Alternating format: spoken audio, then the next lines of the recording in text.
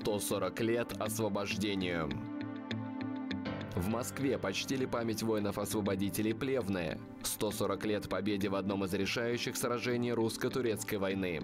Взятие Плевны предопределило завершение кампании на Балканах. Пять месяцев осады и боев стоили более 30 тысяч жизней русских солдат. 10 декабря по новому стилю турки предприняли попытку прорвать кольцо блокады. В последнем сражении потери турецкой армии составили 6 тысяч человек.